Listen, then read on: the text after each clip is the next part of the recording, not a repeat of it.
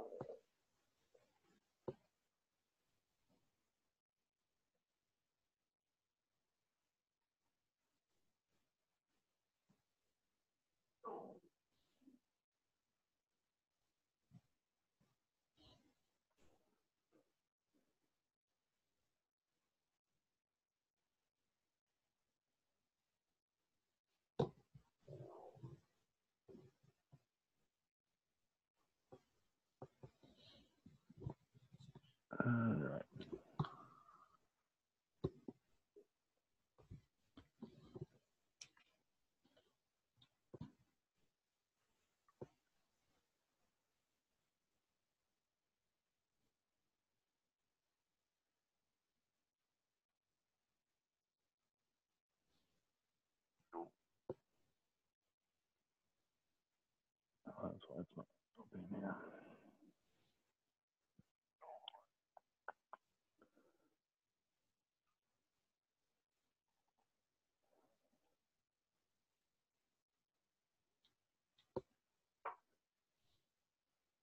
Okay, there we are.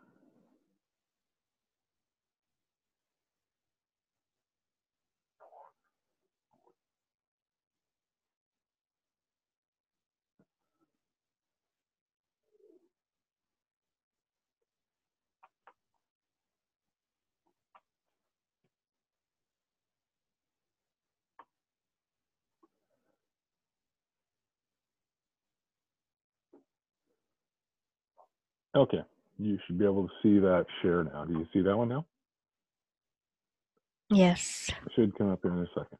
Okay. Sales of a property. Okay.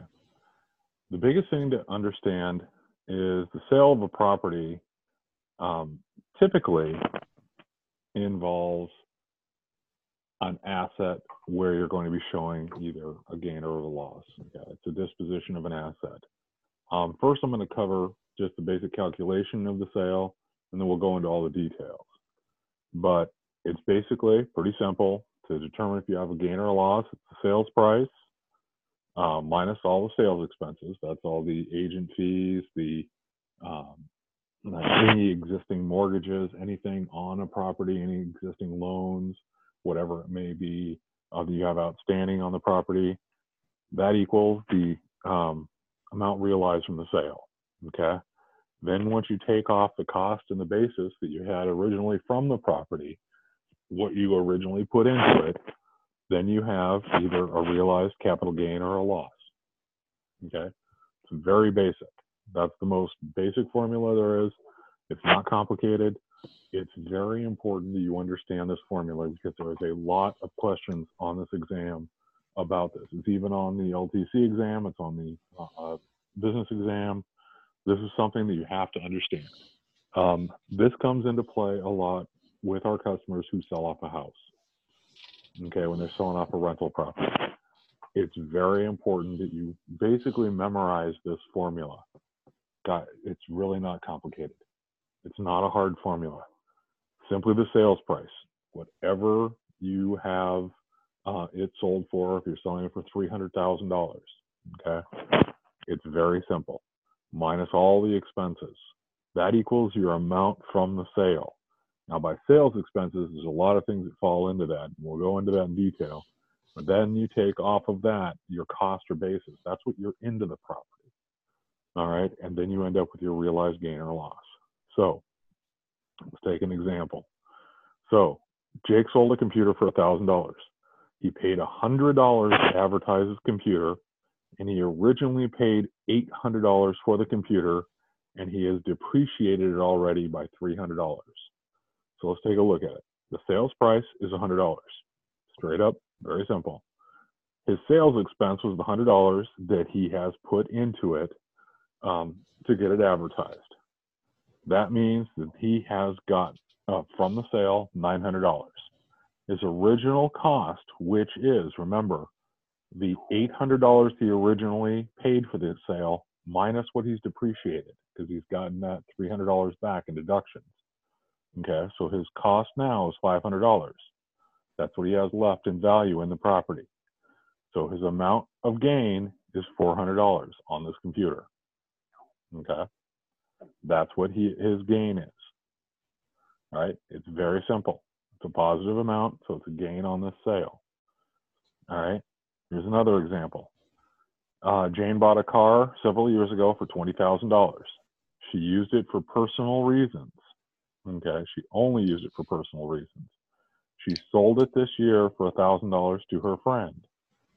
So sales price was thousand dollars.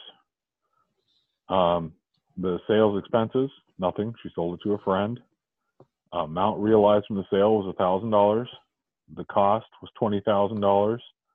The loss is nineteen thousand dollars. But remember something.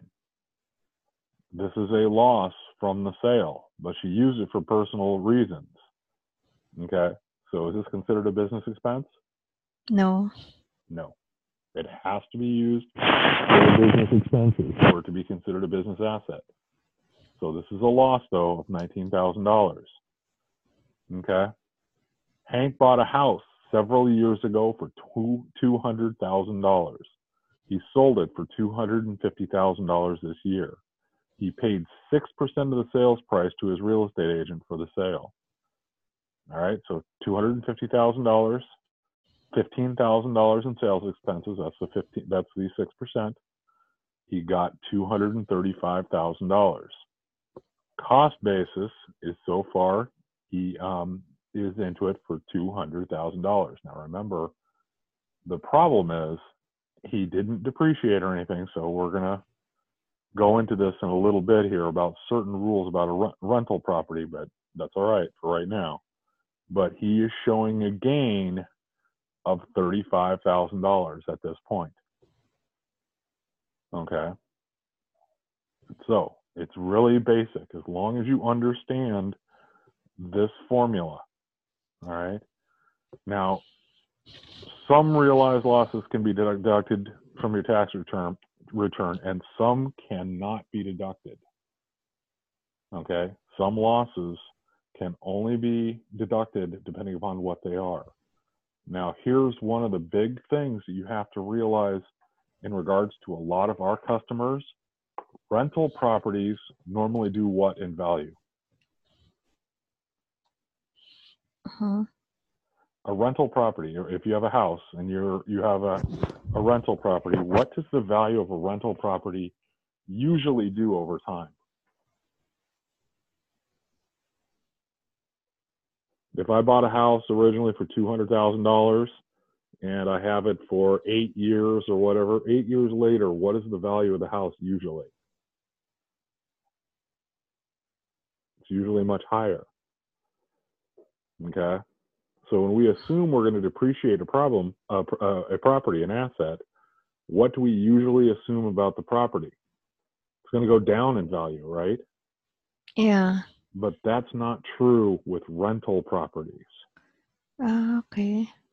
Okay, think about it. A rental property, what happens to the value of a house normally? Normally increases, right? There's only been a few times where the value of the properties, like in 2008 when properties crashed, right? Most of the time, properties skyrocket in value. Okay, right now properties are going up.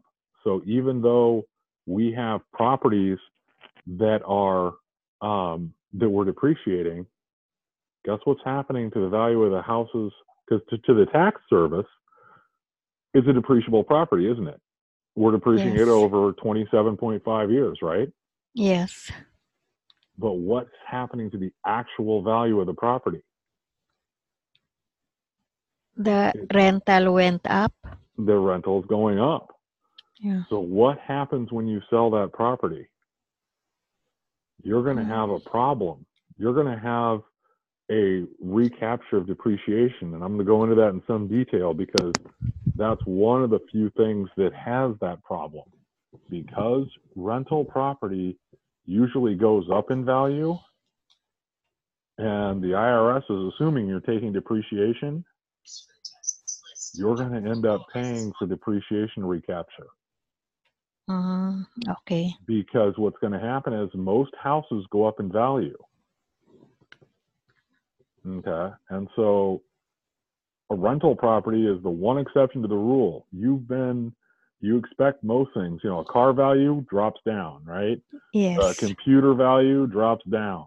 The equipment you have for your factory drops down in value. All these things is terrible. They all go down in value, right?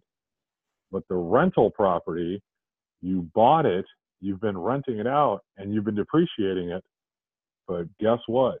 It's the one thing you have that typically doesn't go down in value. It's normally going up in value. Mm, Okay. So what happens is you've been taking that depreciation out of it. And here's the bad thing. Remember, there is allowable and allowed depreciation, right? So you have um, depre- uh, deductions that you are um, taking out because you're allowed to, right? Yes. What you have a choice not to deduct it, right? Mm, You don't have to deduct it. But what happens if you don't deduct it? It is not depreciated. But in a uh, The for business for business purposes, it's still assumed to be deducted. The IRS assumes you're going to deduct a property. Okay, so you're going to end up basically paying that recapture amount no matter what. Mm, Okay, they're going to assume you deducted it. And unfortunately, when you are talking about the sale of a property, how much does a property go up over, say, five years, eight years, 10 years, 15 years? You're talking about a substantial amount it can have gone up in 15 years. Okay, you're talking about a whole lot of money it could have increased in value. And do you know what the penalty is for um, depreciation recapture? no. 25%. Mm, So whatever the amount is that you are recapturing in bonus for that amount of depreciation, you're going to pay it in a penalty as an additional 25%. So it's the one thing that even though it's allowable for you to not take the depreciate the deduction for it, if it is a rental property that we're talking about, take the deduction. Because if you don't, you're still going to get hit for it. It's the one thing that's going to go up in value. So if we're talking about rental properties, take the deduction. Okay, other things you don't need to deduct, but honestly, if you have customers, clients that have it uh, have their income coming from rental properties, tell them to deduct it mm, because the IRS is going to assume basically that you have been deducting it, and they're going to make you pay a penalty no matter what in the year you take it out. Now, there are a couple of ways to try to get around it, but they're not exactly the best things in the world. We'll get into that in a little bit. When that, that's when I explain rental properties. But um, realize something the sale on a rental property is the one thing that can hurt you because it goes up in value. But how you calculate it is the same no matter what it is. All right. Now, some realized losses can also be partially deducted too. Remember, you can have a carryback or a carry forward. So if you have a net operating loss, it can actually help you in a sense if you are expecting uh, for something to uh, for a better year the following year. Okay, so let's we'll focus on that in a second. So let's figure this out again. If you do have a capital gain, some realized gains are taxable, um, but some are also not taxable. Remember, capital gains. We're going to get into capital gains in a little bit, but we're just going to focus on the sale for right now. Okay. So Yes. you have to figure out which gains are taxable and which are not. Okay. So we're going to have to get into that in a second. Now, a recognized gain is the amount of the realized gain that is subject to tax. This is a realized gain. This is the raw amount. Okay. That's the difference between the two. A realized gain is what the actual dollar amount is. Okay, a realized gain is the actual total gain on a property. The recognized gain is how much is being recognized as being taxable. So you have to understand those two definitions because that's actually something that is basically on the test. Okay, because they're going to ask you for those two definitions. That's one of the things that will come up. A realized gain or a loss is the actual total amount from the sale. Okay.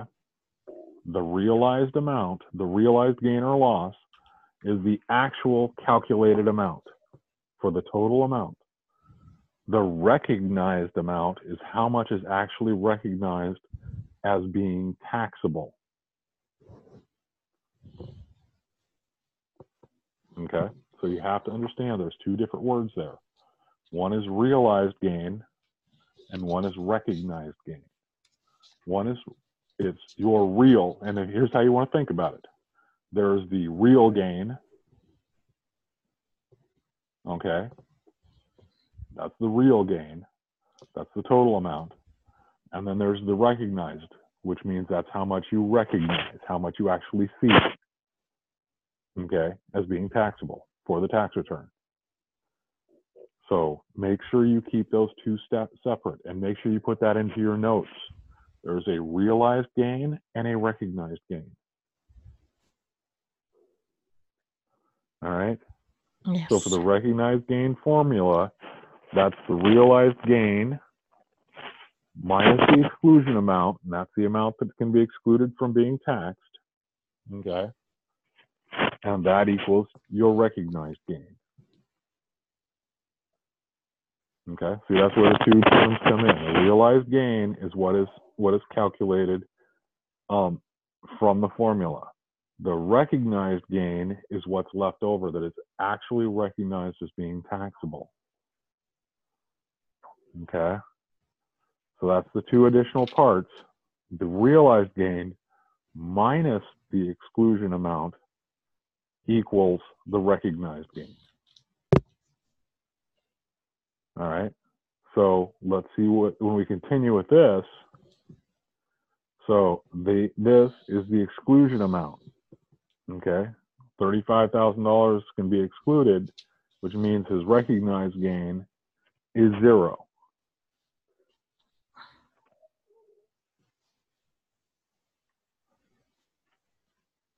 Okay. Now, why would this be um, excluded? Because in a business sense, this was probably his personal residence. So it's not a business, it's not a business property. So he is not taxed on this, it's not considered excluded by, by a business as a business asset. So this cannot be separate, this cannot be included in his business assets. So let's run through some questions on this. A sales price minus the sales amount gives you what? Amount realized from amount sale. realized. Very good. The amount realized gives you what? Minus the basis gives you. realized gain or loss. There you go. So the realized gain minus the exclusion amount. It's the recognized gain. Now remember, this is the real gain minus the exclusion amount gives you the recognized gain. An exclusion amount is the same thing as which? A Mm, non-recognized gain. That means it's not recognized. Do you understand that one? An exclusion amount is an amount that is not recognized. It's not seen by the IRS as being taxable. Yes. Okay. All right. Let's go back over this one more time. Okay, because I want to make sure this is perfectly clear.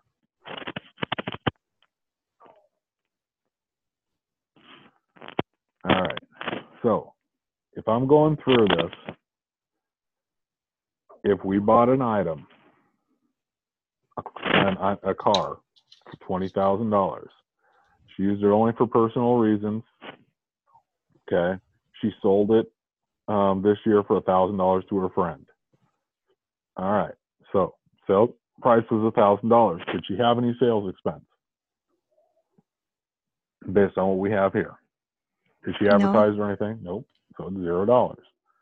So how much did she get from the sale? A thousand dollars. Okay. How much was she into it for? How much how much did she buy it for originally? 20,000. twenty thousand dollars. So if we subtract from the thousand dollars, we subtract the twenty thousand dollars, her realized gain then or loss, in this case it's a loss. She has a loss of how much? 19,000. Nineteen thousand dollars. Okay. So again, in this case, Hank bought the house for two hundred thousand dollars. He sold it for two hundred and fifty thousand this year. He paid sixteen percent of the sales price to his real estate agent for the sale. Okay, the sales uh, sales price two hundred fifty thousand dollars. Okay, sales expenses six percent, which is fifteen thousand dollars. Okay, so that gives him how much for his amount realized for the sale?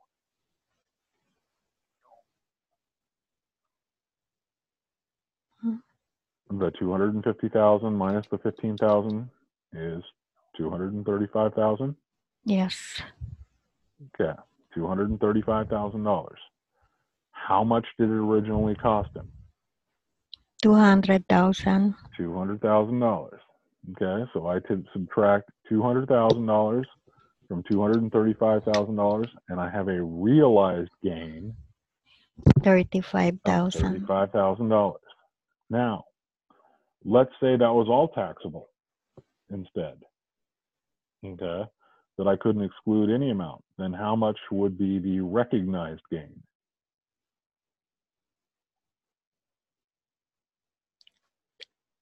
I couldn't exclude any of it. It's all taxable, let's just say. 35,000. Then it would be thirty-five thousand as his recognized gain. Okay. But like I said, some recognized losses can be deducted and some cannot be deducted. Some realized uh, losses can be partly deducted. Okay. Some realized losses can be deducted, some cannot. Okay. And we'll get into that one, like I said. Some realized gains are taxable, some are not. Um, we'll get into this, which are gain and which are not taxable, which are which gains are taxable and which are not. And again, like I said, that's the recognized gain. By recognized is that is the amount you're recognized as being taxable. Okay. So the recognized gain is the amount of the realized gain that is subject to tax. So it is the realized gain minus the exclusion amount equals the recognized gain. All right. So again, in that same house, let's say he was able to exclude uh, $35,000 for whatever reason. So his recognized gain then would be zero. Yes, zero. Okay. So the sales price minus the sales expense. That's your amount you realized from the sale. Okay. The amount realized minus your basis gives you your realized gain. The realized gain minus your exclusion amount gives you your recognized gain. And an exclusion amount is the same thing as your non recognized gain. Mm-hmm. Okay. Are we pretty straight up on that? We understand that pretty well? Yes. Okay. The reason I'm asking is because that's really important. Sales are a hard thing for a lot of people. And I know it's not something that a lot of people want to um, you know, they, they don't, it, it is not something that you think about all the time. But unfortunately, you have to think about whenever, um, whenever uh, um, a property is sold, typically. Oh, let me do this really quick. I'm trying.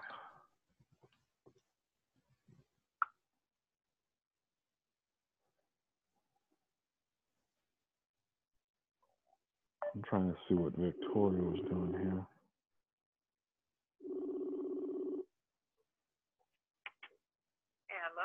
Hey, are you getting on? Are you on the call? No, I'm not. Okay, because I saw you were logged in, but Oh, I was, and then I wasn't Yeah, I know. on because I've been running, working.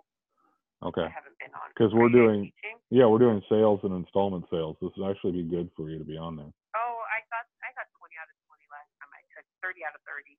That it's freaking retarded now. I'm just I'm done with all of this crap. I'm taking it on the 18th. Okay. Like I I know that by the back of my hand because I've read the full publication twice for everything. Okay. but I'll log in as well. Thank you. Okay. I'll log in right now. Yeah, bye. Bye. Mm. Okay. I was going to remind you because this is an important thing. The installment sales, um, it's when property is sold and one or more payments are made after the close of the tax year. So in other words, it's going to go longer than a tax year. Okay. Yes. Now, this is typically, now you use the installment method when there is an installment sale that results in a gain, not a loss. Okay, that's a general rule. Mm. Um, it, you don't do it when there's going to be a resulting loss. All right, so that's really important. So, if I am getting something and I'm getting I'm getting payments on it, and what's going to happen is is it is going to run um, past this tax year. I will be doing an installment sale. And that's, like I said, that's because the, the payments are going past the end of this year. So do not use the installment method to report the sale resulting in a loss, a sale of depreciable property to a related person. Now, these unfortunately are the rules you need to know. Um, they're very important to cover because what will end up happening is, is this will be the things you get tested on. Okay. Sale of inventory because that equals business income. Okay. That is not inventory items are not things that you um, uh, count in a sale. Okay. That, that is actually considered regular income. Um, uh, sale by dealer of personal and real property. That's again business income. Sale of a personal residence. Okay, that's if the gain is completely excluded. Uh, portion of the sale resulting in ordinary income due to depreciation recapture. This is a big one for you. The reason this is a big one is because most of our people do not have businesses as much as they have rental properties. For the business side, this is anybody who's a real estate investor. Okay. But for um, most of our regular individual returns, that will result in depreciation recapture. Now, here's the problem depreciation recapture comes with a penalty. Yes. Okay. So you also do not use this for gain deferred under a like kind exchange. And I'm going to get into a like kind exchange um, a little bit here. Okay, because it's a very important thing to cover. And when a taxpayer elects not to use the installment method, okay, there Vicky's on. Okay, so you do not use the installment method to report these items. Ryan, Yes, you said penalty for depreciation recapture is 25%. Um, it- Of what? It, it, it depends upon, of the de- recapture amount. Ah, okay, of recapture amount. Yes, of the recapture amount.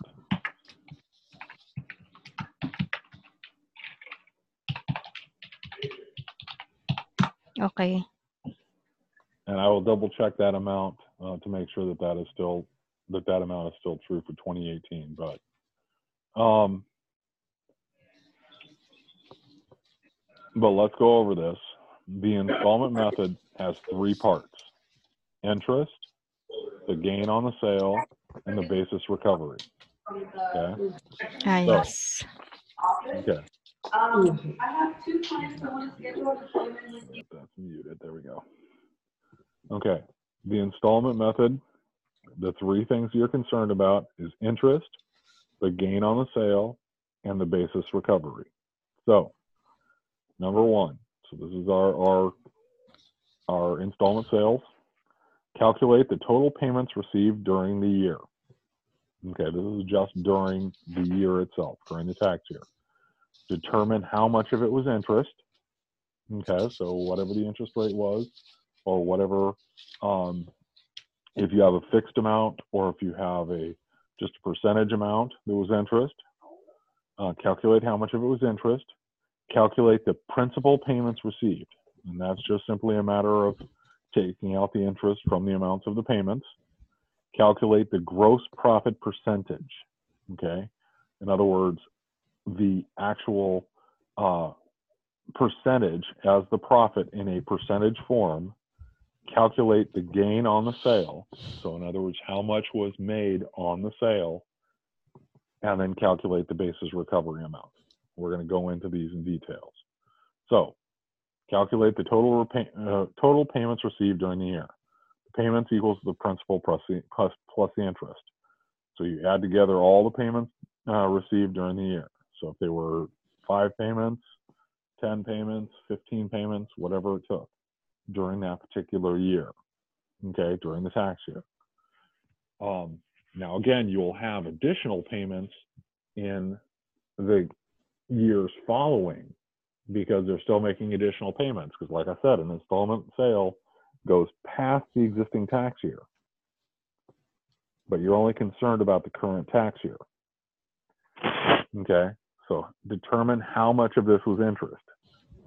All right, so what will end up happening is you have to determine how much of the actual amount was interest, and it's usually, like I said, on an amortization scale, because as you know, when you first start paying something, it will be um, the greatest amount usually at first, and then the less lesser amount uh, towards the end. So you want to figure out what your loan amount was and how much each payment is then uh, based on its percentage of principal and interest.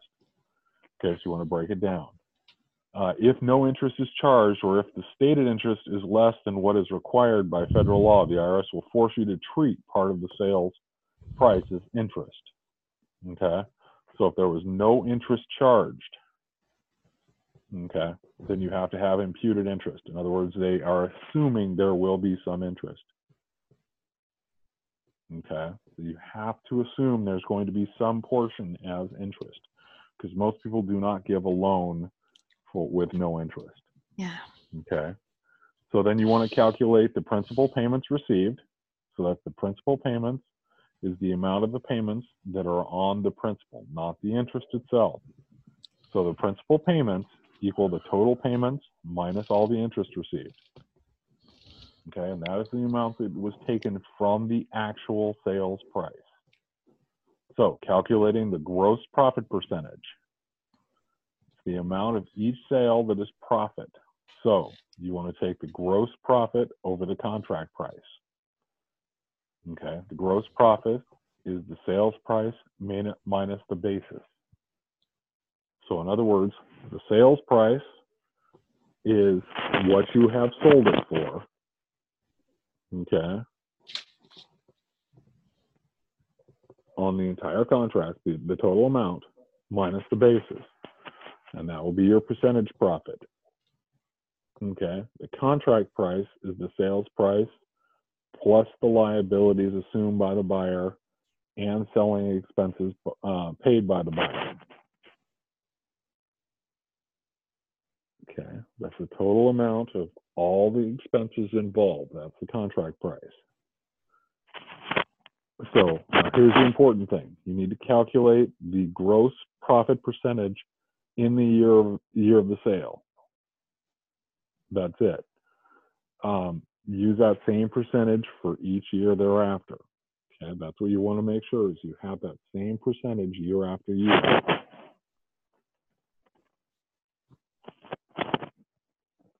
All right. And then calculate the gain on the sale. Now the gain will be the uh, in the principal payments received times the percentage profit, the the the uh, gross uh, profit percentage.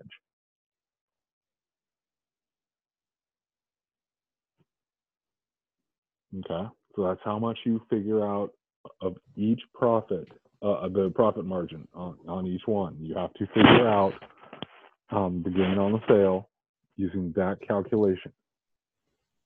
Now, sometimes that gross profit over the contract price is a little bit harder to calculate, but I'll actually go over it with you so then it's a little bit easier. Mm, All right. And then to calculate the gain on the sale, the gain equals the principal payments received times that uh, percentage profit. And you are calculating the amount on this year's gain from this year's payments received. So you don't do it on the total amount, you're only doing it on this year's payments. Because it's an installment loan, it's one that goes past this year's tax uh, tax year. Okay. Then the basis recovery amount is the amount each payment that is a return of your basis. So it is your principal payments received minus the gain on the sale. Okay. So it is your payment uh, principal received minus the gain. So that is your overall um, recovery on your basis. And we're going to get into that in an example here. So, okay, on May 1st, 2018, Walter agreed to sell land uh, to Ian for $12,000. His basis in the land is $7,200. It was paid uh, over five years at 5% interest rate at $226 and uh, 45 cents per month. Now, this includes the principal and interest. This was starting June 1st, 2018. According to the loan schedule, $334.43 was interest. All right, so let's start figuring out how we do this. So we calculate the total payments received during the year. So it's principal and interest times the number of payments. Okay, so it's 226.45 times the seven payments because he started June 1st. So we got seven payments received. So mm, the total amount we had coming in was fifteen hundred and eighty-five dollars and fifteen cents. Okay. So it's really pretty simple here. We've got from here, our principal and interest is this amount, the amount per month, times the fact that this started on June 1st. So we're going for seven months for the year, which gives us a total of the 1585.15. So how much was interest? We know, according to the loan schedule, $334 um, was interest. Okay. yes. So this amount, we we actually just we've been given this amount, okay, so we don't have to look it up. So interest was mm. three hundred and thirty-four dollars and forty-three cents. Okay, so calculate the principal amounts received. So the principal amounts received is the total payments received minus the interest received. So we received fifteen eighty-five fifteen minus three thirty-four forty-three which is right there, and we get one thousand two hundred and fifty dollars and seventy-two cents.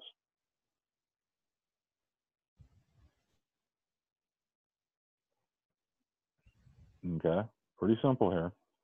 Yes. All right. So next we have to calculate the um, the gross profit. Now, this is a little bit harder. Okay, Mhm. our GPP, which is our uh, gross profit percentage, is the sales price minus basis over the sales price plus liabilities plus selling expenses. So, what did we have here? Our sales price was twelve thousand dollars. His basis was Yes. seventy two hundred. All right.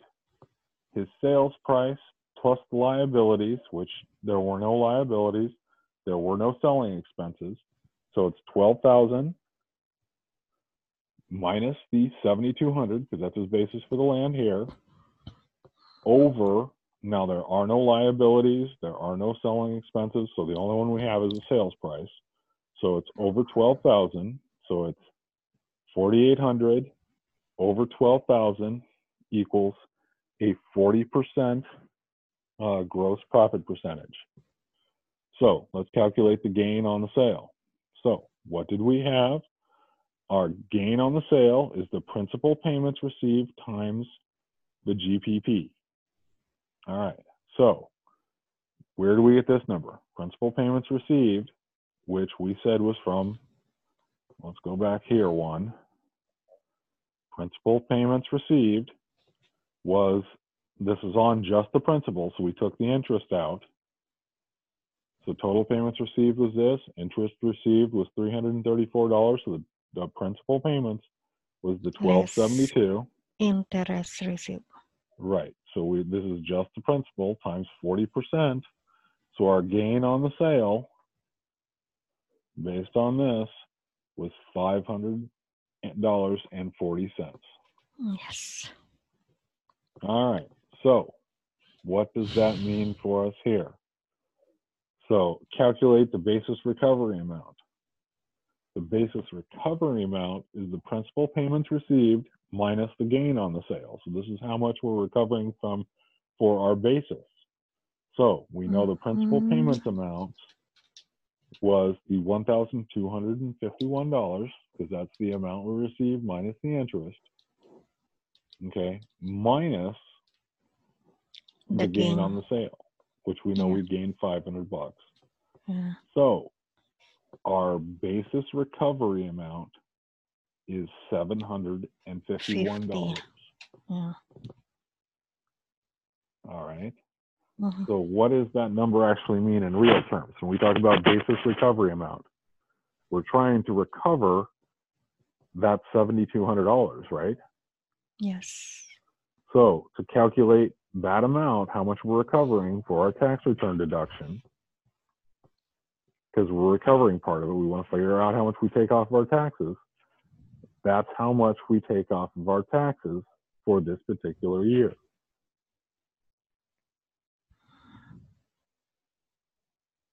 Okay. That's what we're looking for. The pro, the, that's what this whole purpose is. Uh, when we think about what is the purpose of what we're doing here. So if we're looking back on this, what is the purpose of doing this installment sale? The installment sale is to try to calculate how much we deduct from our taxes based on a sale. Now, how are we going to do that? We have to take what we sold it for, how much we're into it, take out all of our um, things like the interest because we don't get the recovery on an interest. And what we're trying to do is figure out the yearly amount from the basis. Okay. So to do that, we're going to figure out what percentage of gain we have. All right. So to do that, what we're going to do is we're going to take the total amount of payments received for the year, not for the whole thing, but for the year. Mhm. Okay, because we're only doing it for the tax year. And then for those seven payments we receive for the year, we get $1,500. Okay, because that's the total amount we had come in. Now we need to take the interest out of it. So we eliminate the interest there. We take that out of the equation. So we end up with the twelve hundred and Twelve fifty hundred dollars. fifty. Yeah. Okay, and that's how much goes against our um, actual principal. That is this amount. This is not the interest. This is our um, sales price right here. This is the twelve thousand dollars. Okay, and we're trying to figure out of that twelve thousand dollars what our gain is and what we get to recover from this basis. Okay, so this is how much we made towards our principal because we took this interest out of it.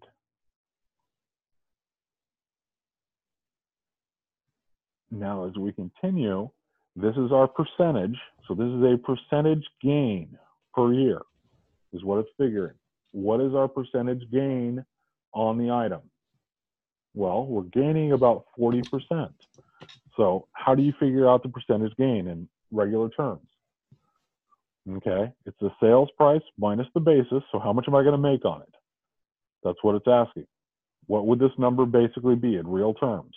The sales price minus the basis. Well, that's how much money I'm making, right? Yes. This is how much I, I got for it. Gross This is how profit. much gross profit right there. This is how much I'm getting off of it. So that's your gross profit. Your contract price is what it basically costs you in the uh, to sell it. Okay, that's the total that it costs you for everything to sell the property. All right, because that's what you're trying to figure out is of what percentage did it cost me to sell the whole property? And that'll give me a percentage. So that'll tell me, okay, that's the percentage. So I can look at that percentage each year and say, okay, of my amount that I'm getting, 40% of that is gain. Yes. Okay, so now when I get my calculation, then my gain, and that's what I'm calculating here, is I'm taking my total payments times the 40%, so I can figure out this is the gain in a percentage form. This is a gain in the actual dollars. Okay, so what does that leave me with? If this is the gain that I made, right?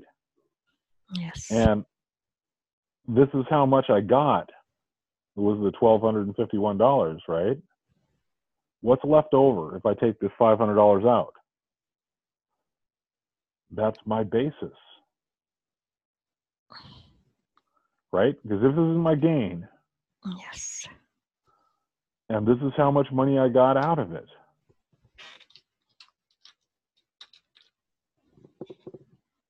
All right.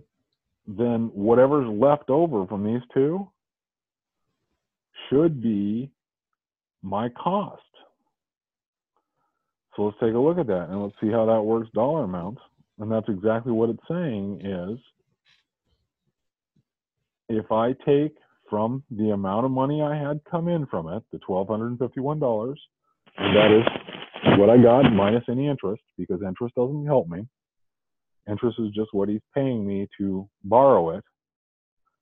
So that $1,251 minus my gain on it, this is my basis, right? Yes. So that is the basis recovery amount. And what would I need to do with that basis recovery amount? That's the amount I get to deduct because I'm trying to recover my basis, right? That's the amount I get to deduct in that year. Mm, That's the amount that I have that is allowable to me that I can take off of that income. Because what happened? I had $1,251 come into me, right? Yes. Now, that means I would have to pay taxes on $1,251. But remember, that land cost me $7,200 to start. Well, I've already paid taxes on the $7,200. I don't want to pay taxes on it again. I've already paid taxes on it. I only want to pay taxes on the amount that I'm gain, that, that's my gain. So that's what the whole purpose of this is, is for this year, how much was my gain? Well, my gain was this amount. This amount is then the amount I've already paid taxes on. So I don't need to pay taxes on it again. So that's the amount I no longer have to pay taxes on. Does that make it a little bit clearer?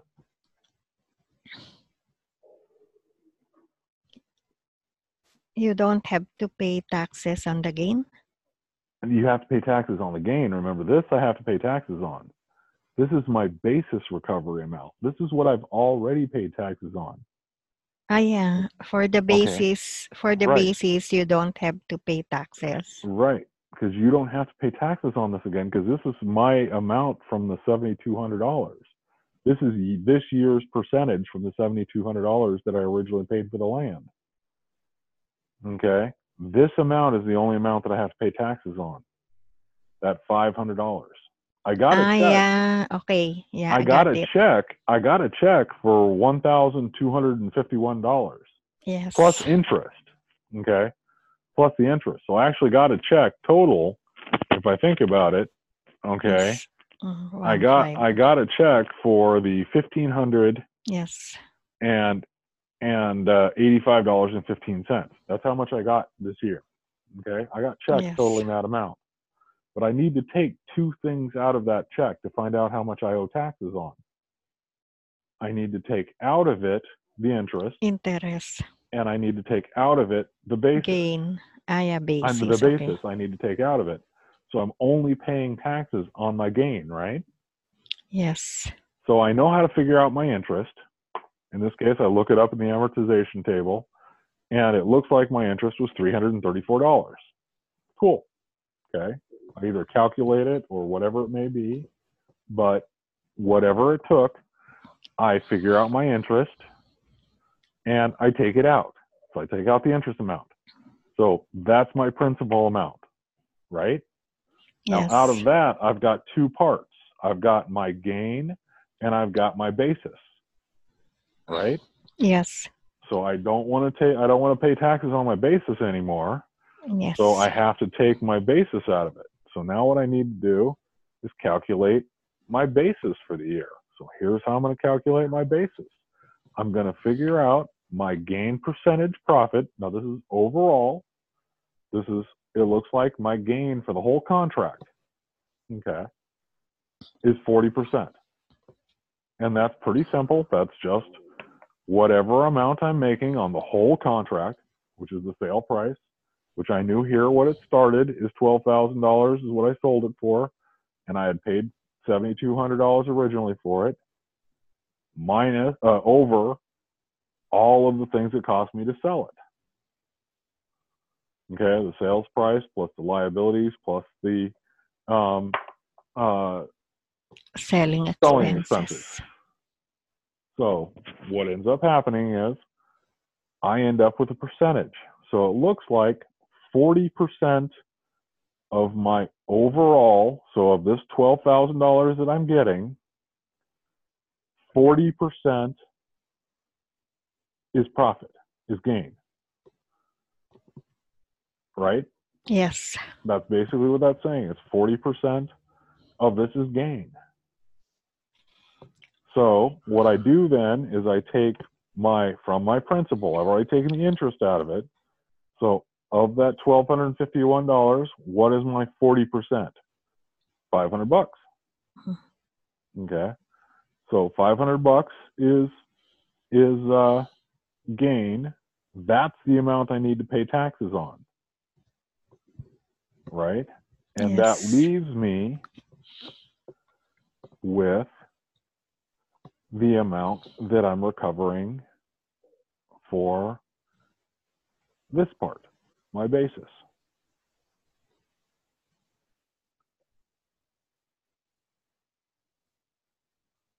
Okay, very simple. Okay. Yeah. So installment loans are actually not very hard at all. They take a little bit of a calculation because Yes. they're two steps because they're but what you're doing is you're taking what my total sales price is minus my basis minus my uh, interest Interest. leaves me with my gain on the property. That's how much I'm getting taxed on. I've got a basis recovery amount. That is how much I deduct from it. So for me, that is what I'm deducting is that $751 because that amount I don't have to be taxed on. I've already paid taxes on it, right? Yes. I paid that with that's the money I used to buy the property. Now, am I going to pay uh, taxes typically on the interest? It's No. income to me. It's income to me. So I'll end up paying interest on it. I'll pay taxes on it, but it falls into a different category.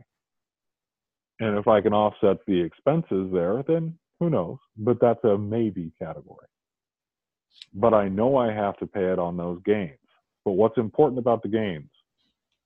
Because what's the difference between the interest and the gains? That's your profit. Uh-huh, but here's here's here's one thing. What is interest and what is gains? Interest is regular income, isn't it? You're making money off of your money. Right? Capital gains gains is capital gains. And what happens with capital gains? It's taxed at a whole different rate. Capital gains are usually taxed at about 15%, aren't they? Ah, yeah. So you want to have as much as capital gains as very little as interest and you know, because you don't want to be taxed on anything. But capital gains is much better to be taxed at a capital gains rate than anything else, right? Yes. So great. You want to be taxed at capital gains rate. Because Lower, gains yeah, yeah, lower it's a lower rate. It's Rates. 15% Okay. usually. Yeah. All right. So that's an important thing. Capital gains is normally at a lesser uh, lesser amount. So let's take a look at this. How do we report the capital gains? Okay. How do we report the capital gains? Get this over here. So we calculate and report it on the form 6252. That's profit or loss. Okay, that's capital calcu- calculating a capital gain, and the amount calculated will transfer to either the Schedule D as a capital gain, or the Form 4797 as gain from the sale of a business or income-producing property. Now, for it to go on the Schedule D, it means you have a sole proprietorship, typically, or a partnership, you know, like a pass-through, that sort of thing Mm, right? Yes, But if you actually have, if you actually have a uh, C corp, it's going to go on a form 4797. Okay, that's the gain from the uh, sale of a business or income producing property.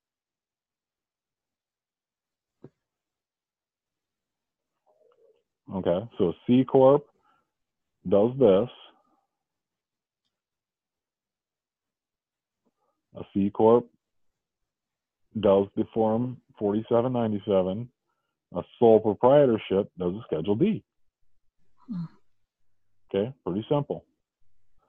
So, how to report interest received? Now that this is why, like I said, capital gains is different than uh, interest. ah, okay. Okay, so you have to separate the two because the capital gains is at a lower rate. So, how to report interest received? It's reported on Schedule B. Okay, it's similar to reporting interest of other sources, Interest income. Yeah. interest income. All right, so you're getting it, girl. Mm-hmm. Okay. Now, you can choose not to use the installment method. If you choose not to use the installment method, you can report the entire gain in the year of the sale and report it on either Schedule D or the Form 4797, depending on which one it's coming from. Because if it's a sole proprietorship, you can report it on a Schedule D as capital gain or on a Form 4797 as gain from the sale of a business or property. If it's a uh, C Corp or one of those. A non-pass through. Okay, does that make pretty good sense? Yes. Okay, so installment loans are really not that hard. But they do take a little bit of understanding on how to calculate them. All right, so the interest, the installment loan has three parts, which is the following is not one of them. So interest is not one of them. Gain on a sale, uh, interest is one of them. Gain on a sale is one of them. The basis recovery is one of them. So it's the allowable loss. Yes, allowable loss. Okay. When you have a gain on the sale of a personal residence that is completely excluded from the tax, you should not report it using the installment method. This is true. Remember, it's excluded from tax.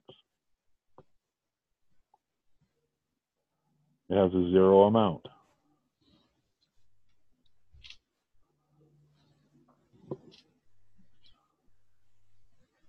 Because installment method is only to be reported if there is amounts going multiple years. Okay. So if you have a gain on an installment sale and you choose not to use the installment method, how should you report it? On the year of sale. In the year of the, the year sold. You want to report the entire amount in the year that it was sold. Okay. And if you have a capital gain, on which do you report it? So, If you're a sole proprietor, Schedule D. mhm. If C Corp, Form 4797. there you go.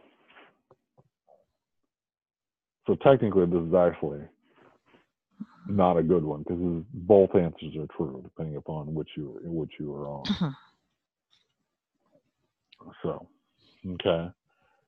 So if you have um, sale of income producing property, because this is actually, um, if you have a capital gain, it's asking you personally is what it's implying. If you have a personal capital gain, is what it should say.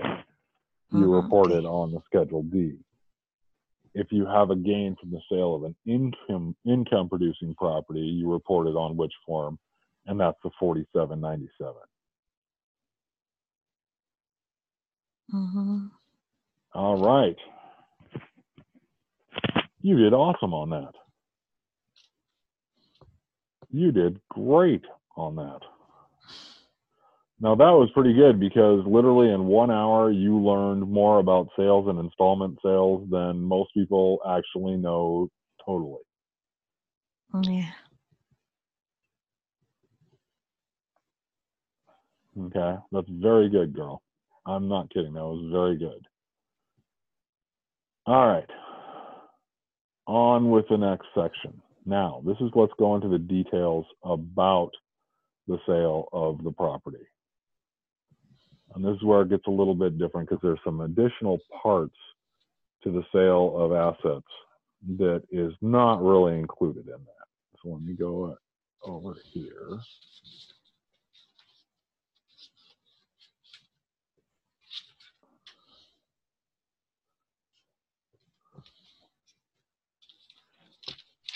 And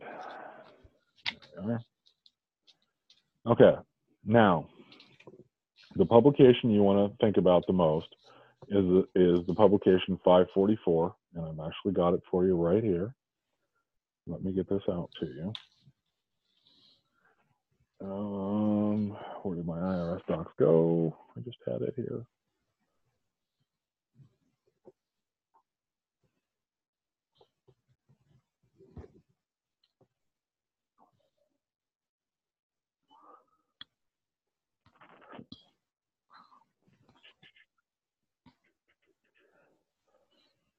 Oh, I love it. I just had it up here, and now I walk away.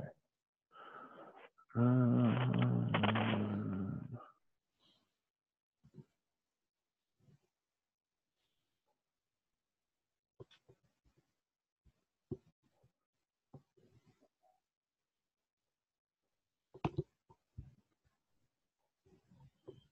okay.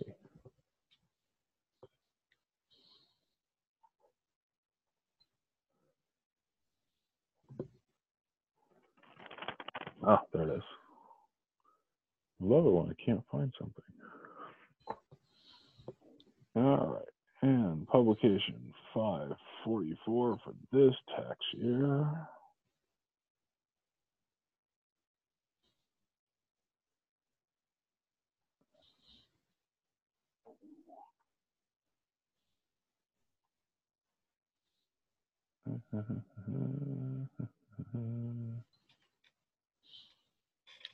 Casualty and theft, appreciation.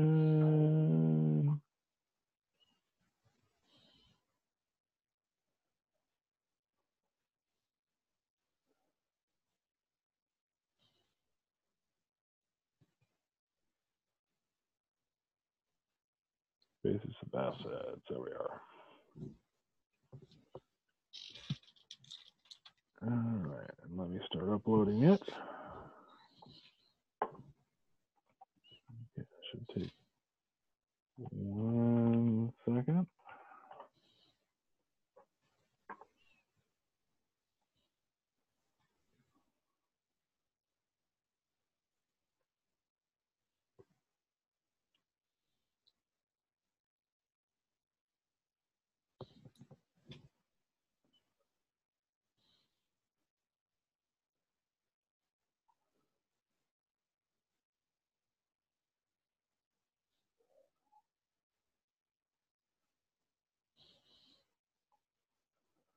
Okay, that did not save it anywhere where I thought it was going to save it.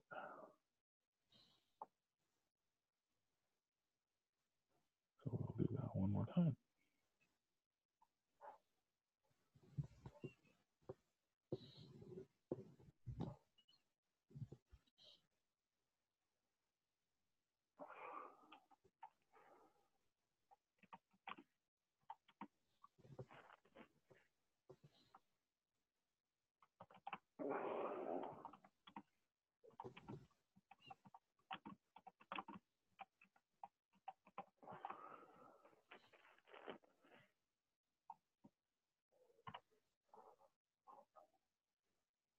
There we go, that's better.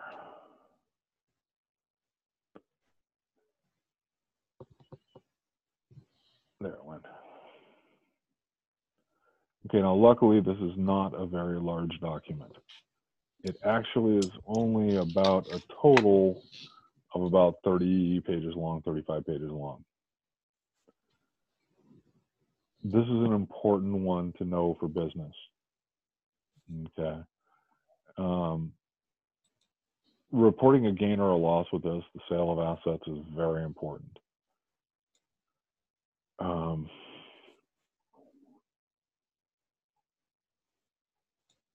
let me pull that back up.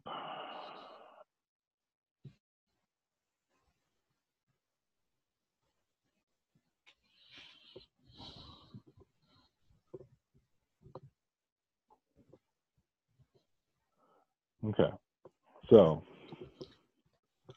there are many different ways that a business can just dispose of an asset.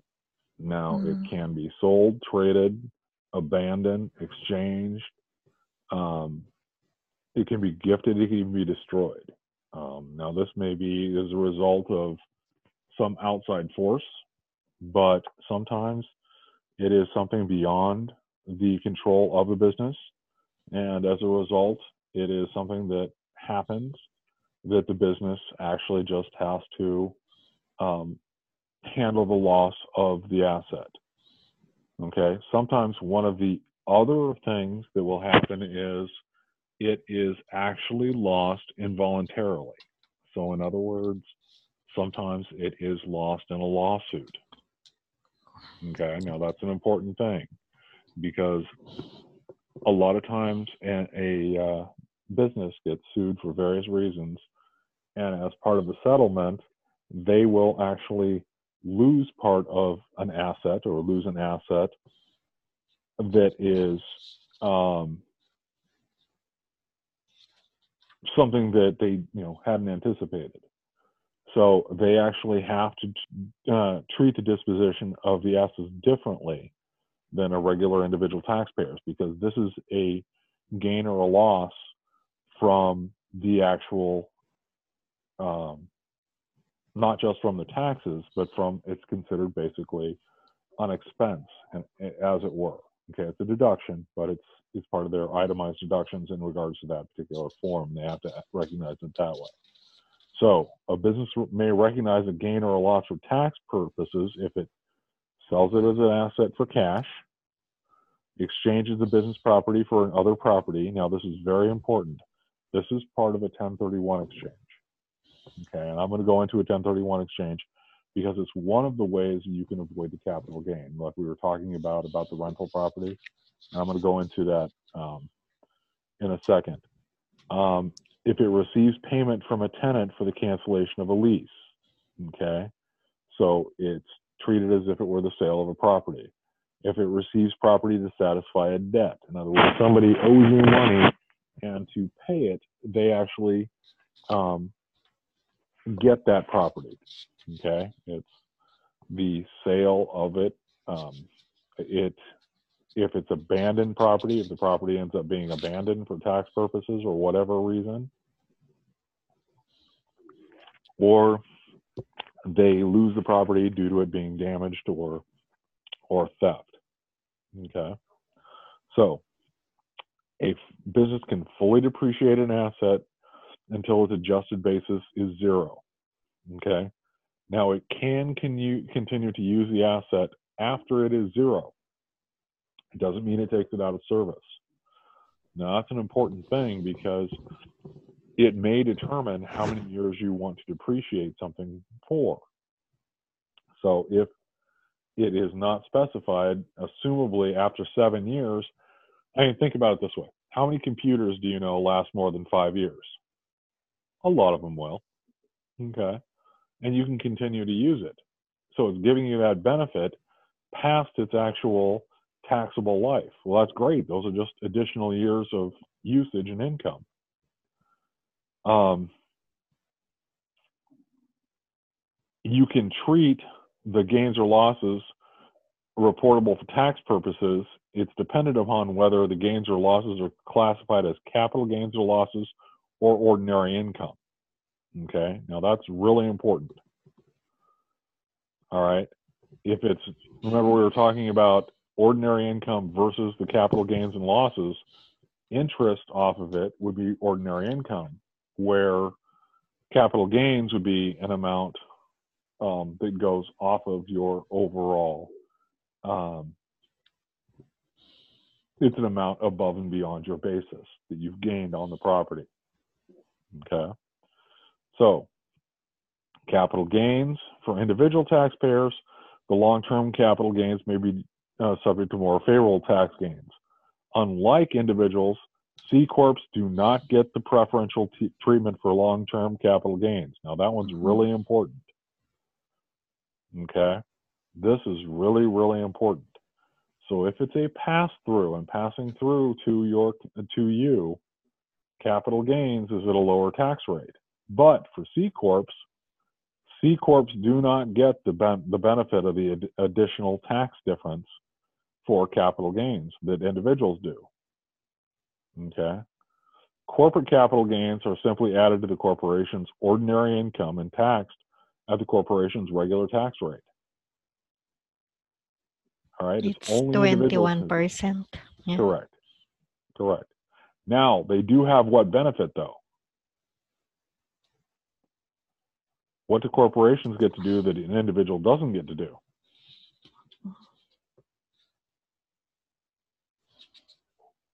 Think about it. What do what do corporations get taxed on? Corporations get taxed on what's left. Remember it? So, is that going to affect them so much? because their expenses override that. They take their expenses off of any capital gains. Mm, Because remember, how does it how does it work for the expenses for a business? All business expenses get taken off of all income, which means all their capital gains before they get taxed on it anyways. So they may never get taxed on it. If they have uh, expenses which are sufficient enough to to uh, overcome their capital gains, they don't pay taxes on it anyways. Mm, Okay. That's a major, major advantage, isn't it? Okay. So think about that. A C Corp, now think about that major thing. If you have a property, if you have rental properties in a C Corp or under a C Corp, where is those where are those expenses going to go to? What where are those gains I'm sorry, where are those gains going to go to? the corporation, those corporations. But what is going to be deducted from those gains? the expenses.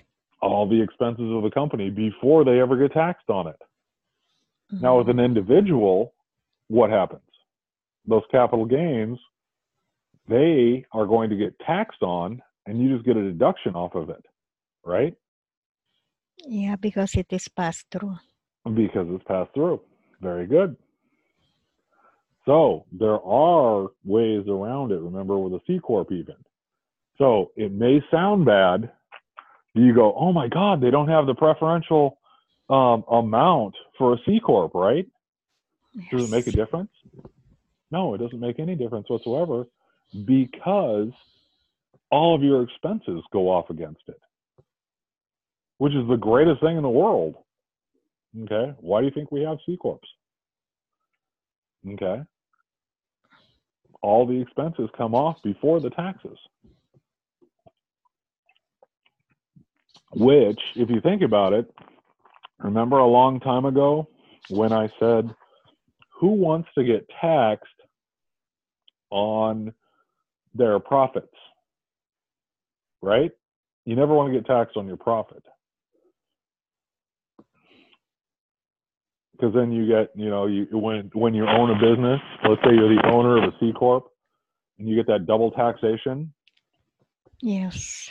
Well, remember, if you structure it the right way, are you ever going to get taxed on it? No, you're never going to get taxed on it. You're only taxed on profits. Okay. So if you make sure that your amount coming out of it is coming out of it as, say, a draw, do you get taxed on that twice? No. Mm, You don't get taxed on a draw twice because that's your salary from it. You get you don't get taxed on it twice because that's an expense to the C corp. So it all depends on how you write it up. That's the most important thing. It all depends on how you write up the expense. If it's a draw from the company, you don't get taxed from it. It's an expense. Okay. I mean, sure, if it comes out as a profit, guess what? You get taxed on it at the company. Then it comes to you as a profit. Guess what? It's now income to you. You get taxed on it again. Looks pretty bad that way, doesn't it? Yes. You don't want to think about it that way. You don't want it coming to you that way. But if you structure it the right way, is that ever going to happen to you? No. You just have to know how to structure it the right way. So, the, that is one of the most important things that you understand is that the structuring of a business determines how much your profit is. Mm, God, we're getting all kinds of background noise. I'm getting background noise in my headset. All right. Let's do this. It's 12:30. Let's take a 10 minute break really quick because I got to run to the restroom quick and then let's uh, come back in just 10 minutes. okay, thank you. Okay, does that work? Mm, Okay. Yes. Be back in 10 minutes. All right, Did- let's go. Yeah. Let's go back to where we were. And I actually, I now have a class going to start for some people who want to do a fast-paced version of the individual for the EA. I'm going to be teaching it just on Tuesdays and Thursdays. So, Okay. Later. uh, just know I'm going. I already have the LTC class in the afternoon. I'm going to be doing that on Tuesdays and Thursdays at this same time. Mm, All right.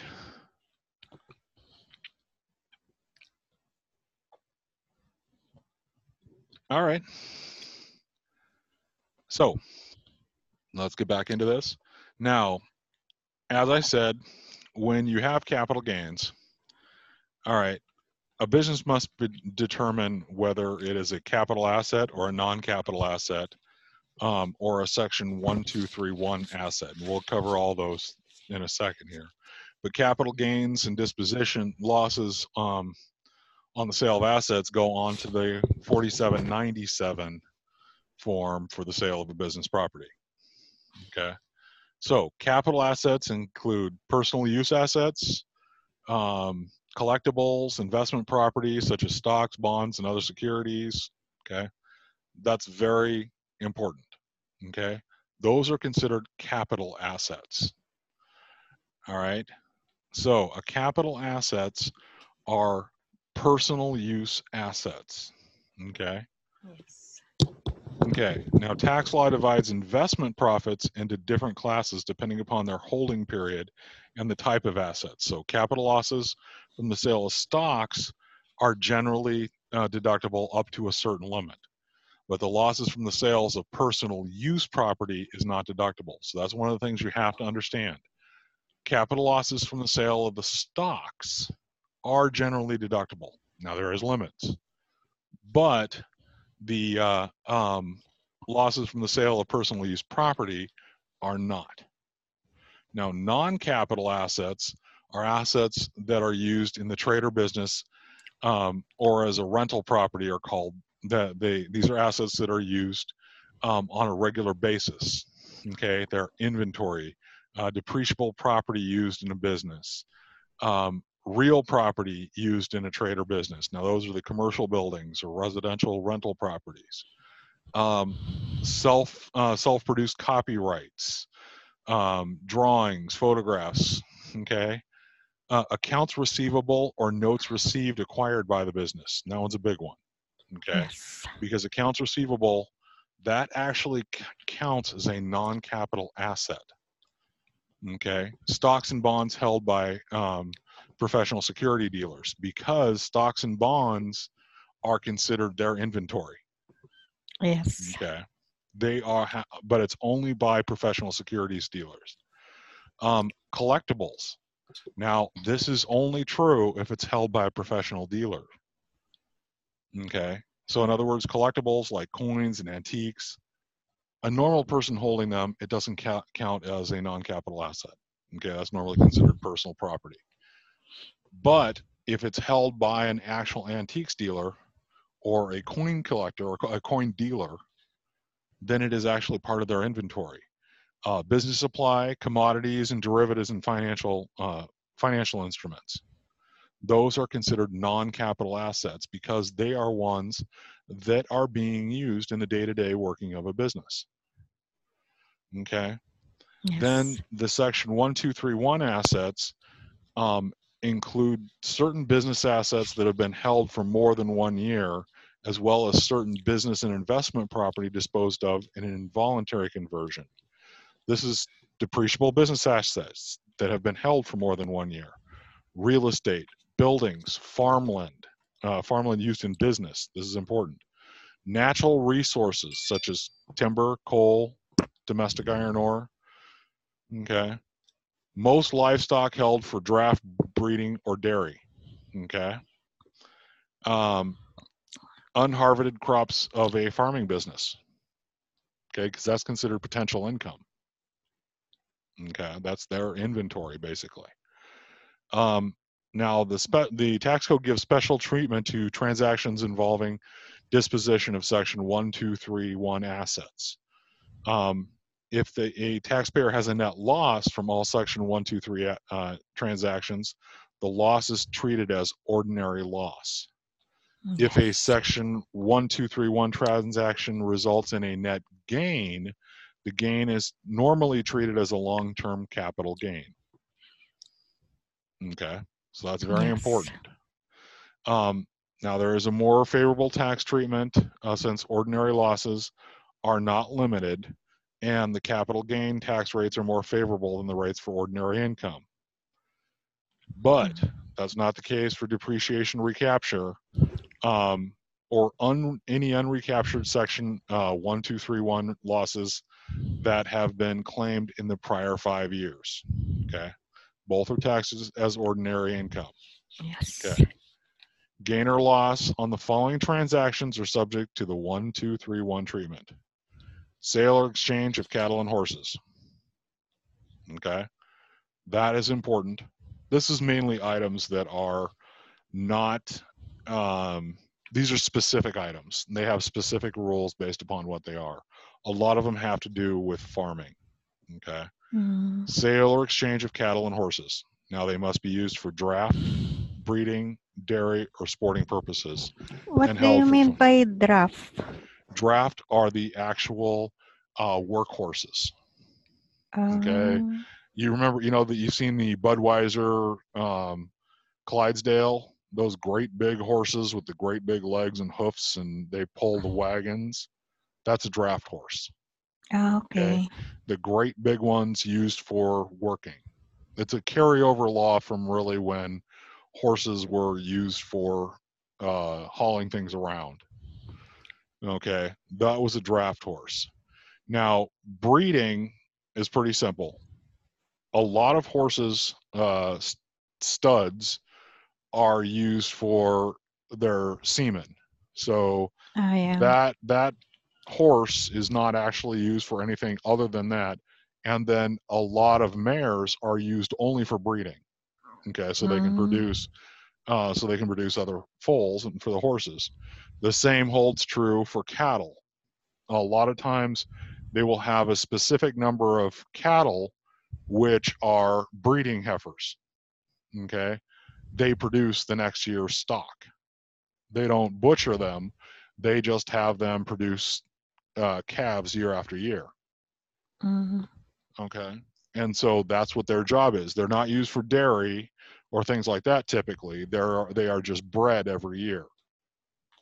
Okay. Or they're bred and used for dairy, that sort of thing. Um, and their offspring is usually used if they have uh, heifers, they're used for breeding as well to expand the actual herd. If they're um, if they're male, then they're used for uh, they're usually clipped and used as beef. Okay. Okay. Dairy, same thing. Now, sporting purposes is typically like horse racing and that sort of thing. That's one of the things that where where um, horses are used for sport. Dogs are still used for dog racing. There are still things where animals are used for sport. Um, there aren't too many things, but there are several. Um, now, the say now this is just cattle and horses, but there is also the sale or exchange of other livestock. This is hogs, sheep, goats, donkeys, and other fur-bearing animals. Now, there's a key point in there: fur-bearing animals, because a lot of times things like fish, as you know, a fish farm has become really popular lately. But fish farms have not been the same thing because usually it's one season. Um, okay. They usually are not going multiple years. They usually have a nine month growth growth period, that sort of thing. So they're usually less than one full year. Some, depending upon what you have, you know, trout, tilapia, that sort of thing, they usually only keep them one year. Mm, That's why they're not really huge when they're harvested. They're you know they they're usually only one year. Cattle, most cattle are two to three years. You know they're usually butchered after two full years, so they do go longer than one year. Horses cannot be ridden for the first two years, or they end up swayback. So they end up being bred, grown for two years. That's when their working life takes over, and then they're good for about three years in a lot of cases they're actually good for a lot longer than that but that's their depreciation period for a racehorse is three years Okay. ah, okay. okay and that's why it's the growth of them um, goats hogs hogs are usually two years. Okay, it takes two years basically to grow them up. Um, but fur-bearing animals is normally minks, things like that that you would grow for coats, pelts, things like that. Fox. Mm, all right. So those are special ones that get treated as a one, two, three, one treatment. Now this is, you know, How about the unharvested crops of a farming business? that Is one. Less than one year? Um, More this than one is, they must be, usually they're less than one year, but it gets treated, um, because it's usually less, the seeds are normally harvested the previous year. So they basically count its growing period as a full year because you normally harvest Mm. it in the fall and start prepping it uh, in the fall for planting. So the seeds are basically harvested in the fall of the previous year and planted in the spring. So you do keep them for a full year. Okay. Yeah, so that's how they basically treat it as if it's one year. So um, it's really important. You have to have hol- held the land for more than a year. Mm, So it's just it, it's it's primarily they count it based on the land itself. The How long you've held it. preparation. Yeah. right the preparation so um it's kind of like that's kind of a a little bit because of the growing season i mean corn is actually um uh, mainly a summer crop you plant it in early spring and it comes up by fall okay Mm, you know that that's how it works you know that that's true with a lot of crops so it is considered your asset until it gets harvested. So okay. Now that's a little bit different in those cases. Now again like i said most of these are used in farming and that's because they are not they don't have a real long life more or less. All right? But because they fall under that whole thing you do have expenses you do have things um, that extend past the normal length of time. Because most people don't see all the preparation work that goes in beforehand. Okay because most people don't realize you have to prep the seeds you have to prep the fields. Um, it's not just the grow time itself. Okay? So you are constantly doing it no matter what. Okay even in the winter you have prep of the seeds that's when you're starting to sprout them. Um, a lot of things a, a lot of them are actually live planted. In other words they actually plant them in a uh, in a greenhouse situation and then they put the seedlings in. They don't actually put in new plant they don't put in just seed. They actually plant seedlings in the spring okay to, to push it along farther. So they'll use the, a greenhouse to grow it up so all right um, the sale or exchange of depreciable property okay? This is business property that's held for more than one year. This is the normal things. Um, machinery and trucks as well as amorti- amortized section 197 intangibles such as patents or copyrights and the sale and exchange of business real estate. Now that one is really important because that one also usually has a 1031 exchange and that one's really important and we're going to get into a 1031 exchange. All right. Normally any net gains on a section uh, 1231 transactions for the year are treated as long-term capital gains. Giving these types of transactions a favorable tax treatment. However if there are any net 1231 losses in the prior five years those prior five year losses change the character of the 1231 gains in the current year from long term capital gain to ordinary income.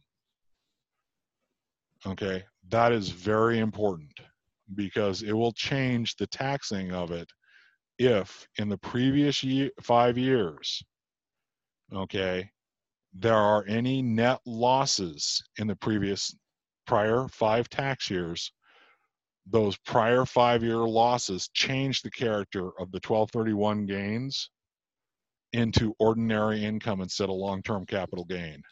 Mhm. And that will change um, your tax basis.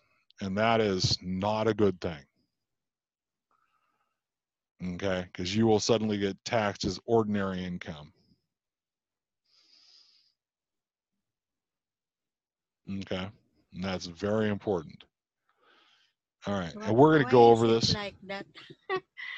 They do that to prevent people from collecting a net loss in one year and then showing a huge net gain in the next year and only getting taxed on it as a net gain because you sold it off the next year. All Mhm. right. So what ends up happening is if you showed a net loss in the previous five years, um, you cannot show it showed as ordinary income.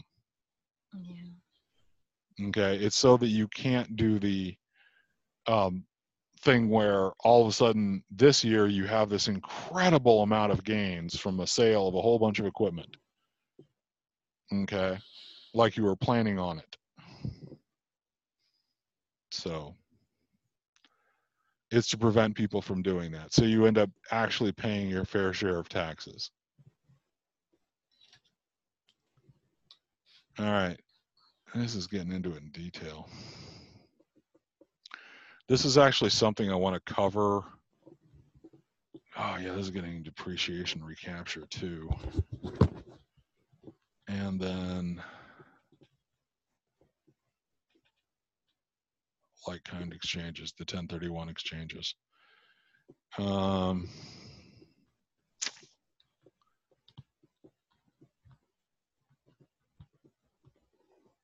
all right, it's one o'clock. I'm going to call it quits there for today because what we're about to get into is really detailed and I want to go into this in some detail. Um, we already covered how to calculate the sale on it. I don't want to go into it too far because it will start throwing you way off. Because what I'm about to cover is really detailed. Okay, so we're going to cover that on Friday. What is that again? We will Well, on Friday, I'm going to cover um, the last part, the tw- the detail part of the 1231 exchanges as to what actually counts for what and why we end up with it. But then I'm going to cover the depreciation recapture, um, a 1245 versus a 1250 extension, what a 1245 property is, what a 1250 uh, property is. Oh, yeah. Okay, because that's 45 property and then right. A 1250 extension, and then we're going to get into the section um, 1031 like exchanges because that one is really um, 1031 or 1231. a 1031 exchange. That's a like property Ah. exchange.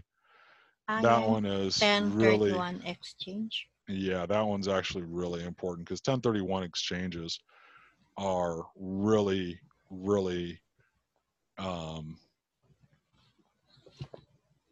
an important part of what we do. A 1031 exchange is really, a, a really important. And I've got a whole section on what the true parts of a 1031 exchange because most people don't understand it. Yeah, okay. Okay. So let's do this. We're going to be meeting here again on Friday. Okay.